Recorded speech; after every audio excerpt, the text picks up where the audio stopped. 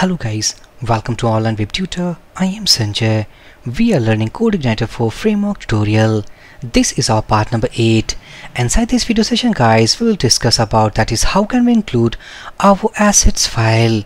Here assets file includes all about including style sheets file as well as JavaScript files. So to include our style sheets file means CSS as well as JavaScript, we have multiple ways inside this CodeIgniter. So we will discuss two methods. First, by the use of URL helper and the second by the help of HTML helper. So simply what I will do if I back to directory structure, as we know that public folder is that folder in which we will store all public accessible files. So for CSS, what I will do create a CSS folder for JS. Let's create another folder with the name of JS. Inside this CSS folder, I will create a new file with the name called style.css and inside this JS folder, I will create a file with the name of script.js. Now open up this file inside our gedit editor. CSS also open this file. Now for understanding what I will do I will add a simple line of comment in these two files. So this is a sample javascript file.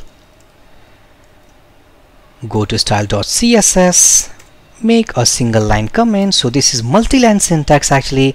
So this is a sample file of css save these changes close these two files back to editor.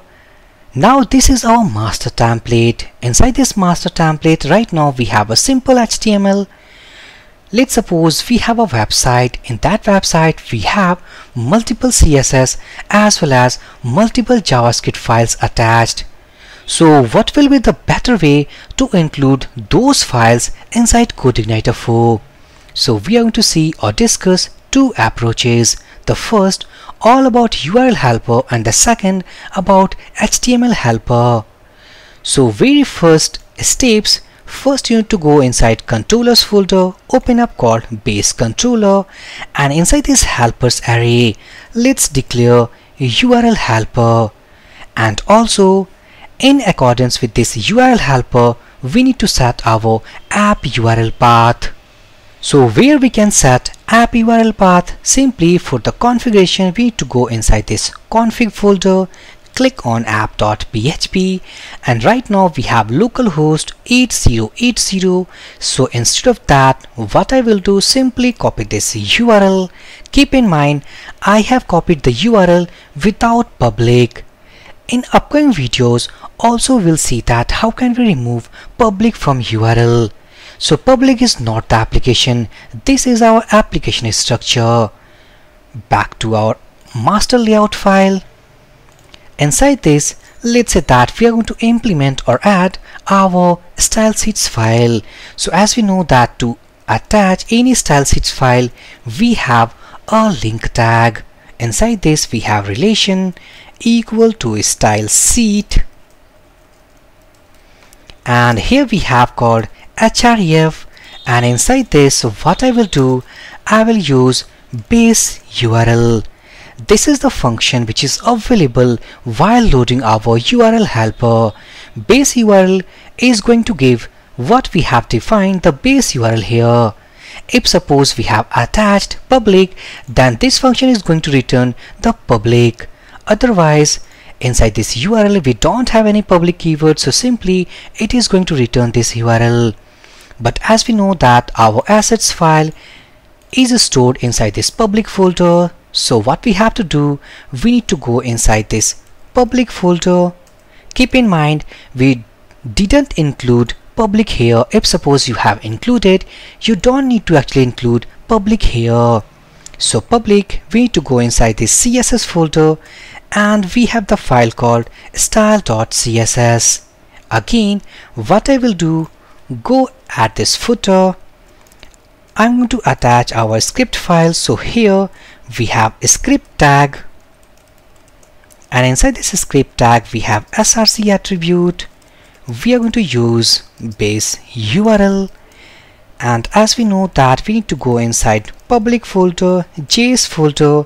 And the file we have called script.js attached successfully go and reload this page right click view page source this is our css path so when we click on that this is all about what the comment we have written go inside here click on that and this is all about the inclusion of javascript file so this is our first approach what we had seen.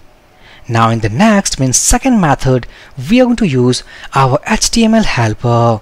So what I will do back to base controller let's load one more helper with the name of HTML. After loading this HTML now we are able to use some of functions provided by HTML helper. Now if I make comment of this line go here and to attach our css files we have a function available called link underscore tag inside this we need to pass the path so it should be public css and we need to write style.css keep in mind here we have written html but inside the syntax we don't have any html because behind the scene this function is going to generate dynamic link tag. Now for style sheets files or script files, if I make comment of this line, so for JavaScript files, we have another function called script underscore tag. And inside this, we need to pass public js and this should be script.js. Now if you save this change, go and reload this page.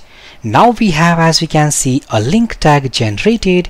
Click on that. This is all about our CSS file this is javascript file and here we are getting so successfully as we had seen that there are two ways. Apart from these two ways also we have multiple ways.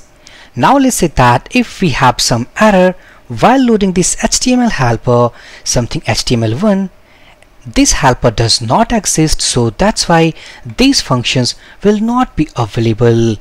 So if we go and reload this page now as we can see that we are getting error something called to undefined function link underscore tag. So keep in mind while using these functions you need to declare properly all about the helpers. So inside this video all we had discussed that how can we include our CSS as well as JavaScript files. So for this video session guys thank you for watching and have a great day.